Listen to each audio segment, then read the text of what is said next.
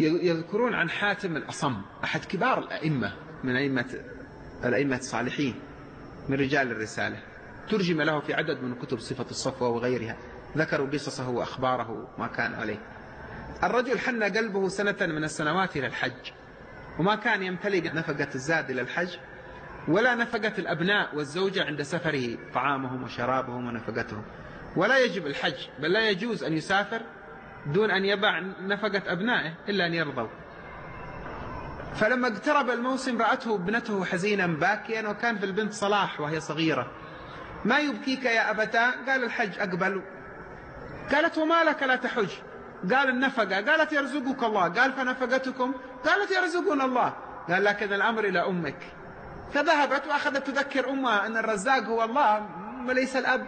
في النهاية الأم والأبناء قالوا له اذهب حج اذهب إلى الحج وسيرزقنا الله. ترك لهم نفقة ثلاثة أيام. ذهب هو إلى الحج لم يكن لديه القيمة الكافية ليلتحق بالقافلة فكان يمشي من وراء القافلة ليس مع القافلة. في أول الطريق عقرب لسعت آه، رئيس القافلة.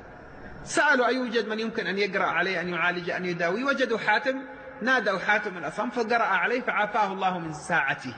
فقال رئيس القافلة نفقت الذهاب والإياب علي. قال اللهم هذا تدبيرك لي فأرني تدبيرك لأهل بيتي. مرت الأيام الثلاثة انتهت النفقة عند الأبناء. بدأ اليوم الأول ما في طعام في البيت. بدأ الجوع يقرص عليهم. فعادوا باللوم اليوم الثاني اليوم الثالث عادوا باللوم على البنت. أنت السبب. أنت التي طلبت منا أقنعتينا بأن نأذن له. انظري الآن من أين نأكل؟ والبنت تضحك. وهي جائعة تضحك. ما يضحك ونحن نتلوى من الجوع نبكي. قالت لهم يا أماه يا أختاه يا أخي أبونا هذا رزاق أم أنه آكل رزق؟ قالوا لها آكل رزق الرزاق الله. قالت لهم ذهب آكل الرزق وبقي الرزاق. هي تكلمهم فإذا بالباب يقرع من على الباب؟ قالوا إن أمير المؤمنين يستسقيكم. كان في رحلة صيد الحاكم وعند رجوعه كان شعر بشدة العطش نفد الماء منهم. فقال دقوا على هذا الباب وهم داخلين اطلبوا لنا ماء. فقامت الأم تملأ لهم وعاء بالماء من القربة وهي تقول سبحان الله ثالث ثلاثة من الأيام لا نجد طعاما وأمير المؤمنين يستسقينا يطلب منا الماء نسقي فشرب الخليفة فوجد حلاوة في الماء لم يعهدها. فقال من أين أتيتم بالماء؟ قالوا من بيت حاتم. قال نادوه حتى أجازيه. قال أنه قد ذهب إلى الحج. فخلع الخليفة منطقته المنطقة مثل الحزام من القماش الفاخر مرصع بشيء من الجواهر. خلع منطقته وقال هذه لهم ومن كان من كانت لي عليه يد يعني كان يعزني يحبني يحترمني فليخلع عليهم منطقته فالوزراء والتجار الحاشية الكل صار يخلع منطقته في هذا الزمان إذا رأوا المسؤول الكبير يميل إلى شخص الكل رأوه غاب عنه سبحان الله النفوس البشرية في كل زمان واحدة. فتكومت هذه المناطق فجاء أحد التجار واشتراها منهم بمال ملأ البيت ذهبا يكفيهم إلى الموت وأعادها إلى أمير المؤمنين وإلى الحاشية تزلفا إليهم مجاملة.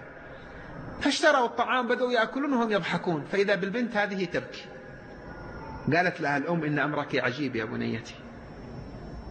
قبل قليل نحن نتضور من الجوع ونبكي وأنت تضحكين. أما وقد فرج الله علينا فما لك تبكين؟ قالت يا أماه إن هذا مخلوق لا يملك لنفسه ضرا ولا نفعا عن الخليفة الحاكم. نظر إلينا نظرة عطف فأغنتنا إلى الموت. فكيف لو نظر إلينا الخالق؟ انظر إلى القوة التي عاشتها هذه البنت. من أين جاءت هذه القوة؟ لم يثنها تهديد الفقر. لم يثنها الواقع الذي ضغط عليها بالجوع. أكثر من ذلك لم يغيرها المحيط. الكلام هنا عن التأثر بالمحيط. لم يغيرها المحيط لا لوم الأم لا لوم الإخوان. ما غيرها شيء ثابتة. ولما ثبتت أثمر ثباتها أن الله أيدها بهذا الثبات فتحولت من ملومة. معرضة للتأثر إلى صاحبة عظة تعظ الذين حواليها أنت الذي تحاول أن تبرر لنفسك أكل الحرام أو